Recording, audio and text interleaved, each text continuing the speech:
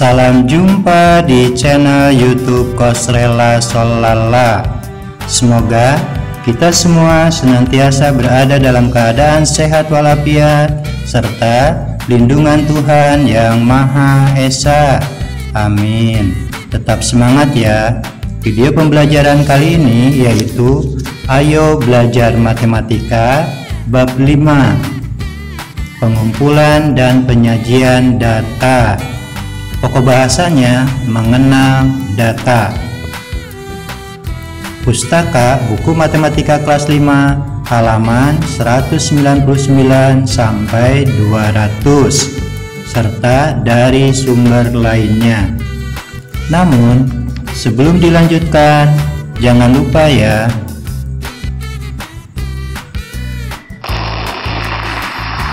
tekan like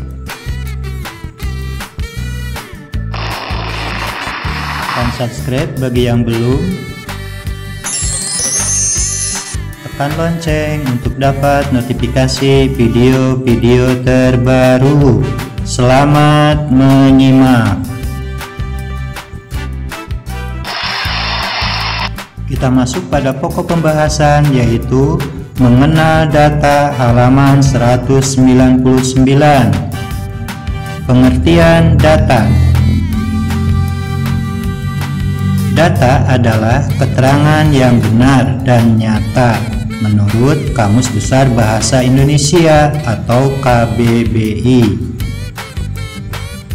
Data adalah sesuatu yang belum mempunyai arti bagi penerimanya dan masih memerlukan adanya suatu pengolahan. Data dapat berwujud suatu keadaan, gambar, suara, huruf, angka, matematika, bahasa, ataupun simbol-simbol lainnya yang dapat digunakan sebagai bahan untuk melihat lingkungan, objek, kejadian, ataupun suatu konsep.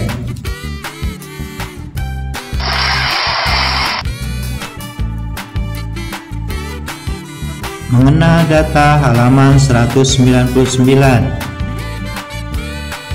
Informasi merupakan hasil pengolahan dari sebuah model, formasi, dan organisasi ataupun suatu perubahan bentuk dari data yang memiliki nilai tertentu Informasi dapat juga digunakan untuk menambah pengetahuan bagi yang menerimanya. Dalam hal ini, data yang dapat dianggap sebagai objek dan informasi adalah suatu subjek yang bermanfaat bagi penerimanya.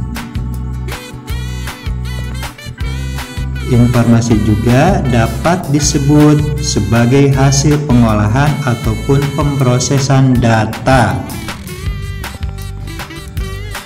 Adapun metode pengumpulan data merupakan teknik atau cara yang dilakukan untuk mengumpulkan data.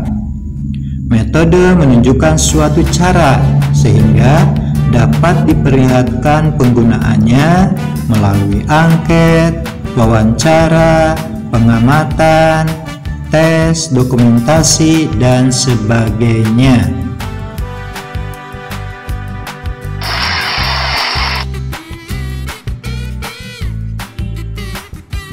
Data primer halaman 200 Perhatikan gambar berikut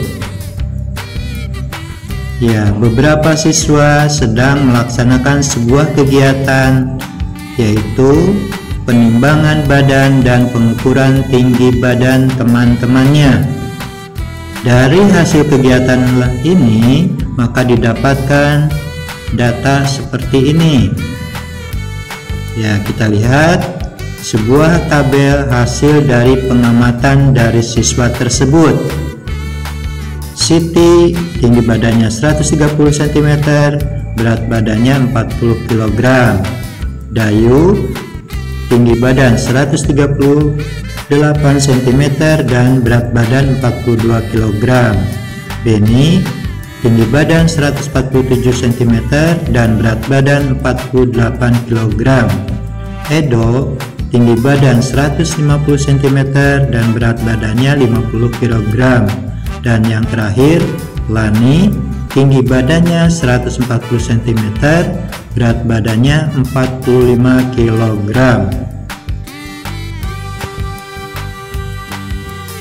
Data di atas diperoleh secara langsung tentang pengukuran tinggi badan dan berat badan. Data seperti di atas disebut data primer. Jadi, data primer adalah data yang diperoleh secara langsung.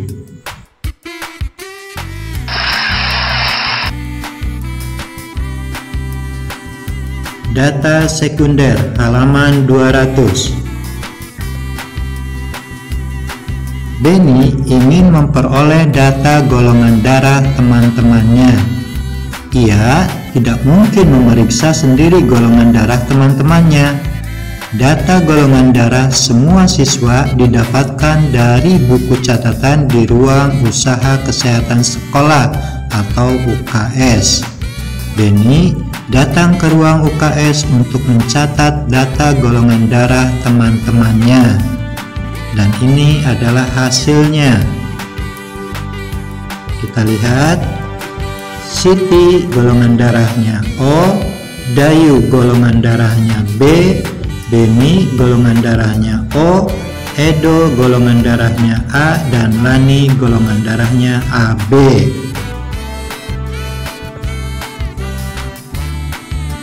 Data golongan darah di samping diperoleh Benny tidak secara langsung. Ia mendapatkan dari UKS atau Usaha Kesehatan Sekolah. Data seperti di samping disebut data sekunder. Jadi, yang dimaksud dengan data sekunder adalah data yang diperoleh tidak secara langsung. Nah, itu beberapa penjelasan tentang pengenalan data. Mudah-mudahan apa yang disampaikan dapat dimengerti dan untuk selanjutnya dapat dipahami.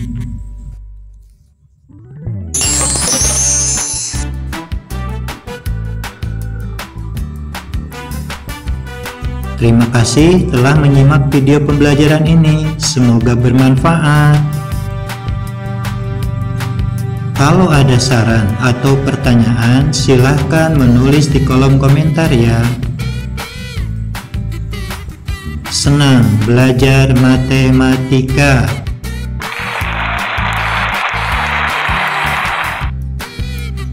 Sampai jumpa.